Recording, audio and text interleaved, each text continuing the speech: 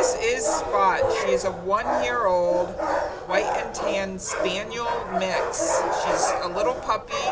She just came here to the Baldwin Park Animal Care Center two days ago, so she's still a little overwhelmed and figuring out her new surroundings, but she's very sweet and curious. And as you can see from her name of spots, she has plenty of freckles on her ears and on her nose.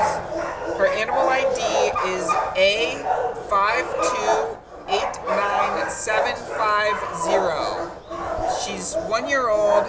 She's, you know, as I said, a little overwhelmed, but very curious, very interested in, in the world around her. So she's just looking for a nice, loving home to go to.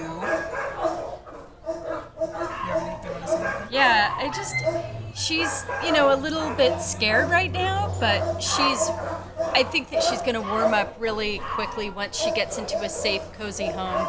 And she's just so darling. She's got this really dainty quality about her. She's got these beautiful eyes that are kind of hazel green and she's just a really tender soul you know? I just i really like her a lot. I've been i've had the chance to hang out with her for a little bit and she's slowly warming up and slowly starting to trust and figure out where she is and and um, she's just a darling girl. She's young she's the perfect size um, so pretty. She's just she's really i think a real sweetheart. She's very gentle. Um, I just I really like her a lot. So if you want to meet Spot, she's here at the Baldwin Park Animal Care Center. Again, her animal ID is A5289750.